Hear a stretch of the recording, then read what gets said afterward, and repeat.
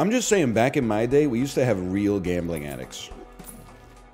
People would get addicted to playing slot machines where you had to manually feed like a loony into the top of it. People would get addicted to playing video poker or something like that. Just go into a casino in 1996, you would basically be saying, it's worth it. It's worth getting emphysema from the secondhand smoke. Nowadays, the Zoomers, they're not real fucking hardcore gambling addicts. You take away their phone, they'd quit cold turkey. Makes me sick, bro. Back in my day, we had real gamblers.